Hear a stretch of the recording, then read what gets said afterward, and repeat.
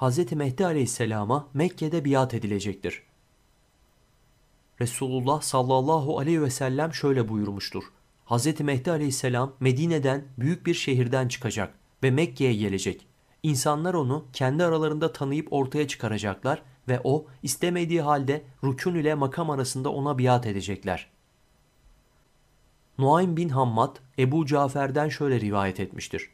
Hz. Mehdi aleyhisselam Mekke'de peygamberimizin sancağı, gömleği, kılıcı, işaretleri, nuru ve güzel ifadesiyle yatsı vaktinde çıkar.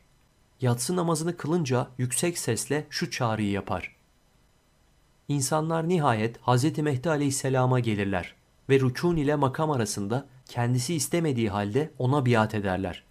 Eğer kabul etmezsen boynunu vururuz derler. Yer ve gök ehli ondan razı olur. Ali bin Hüsamettin el-Muttaki, Celaleddin Suyuti'nin tasnifinden hadisler, sayfa 31. Mekke halkından bir grup onu Hz. Mehdi aleyhisselamı istememesine rağmen bulunduğu yerden çıkarırlar. Hacer-i Esved'le makamı İbrahim arasında ona biat ederler. Süneni Ebu Davud 594 El Kavlül Muhtasar sayfa 20 Ve sonra istemediği halde biatlarını kabul eder.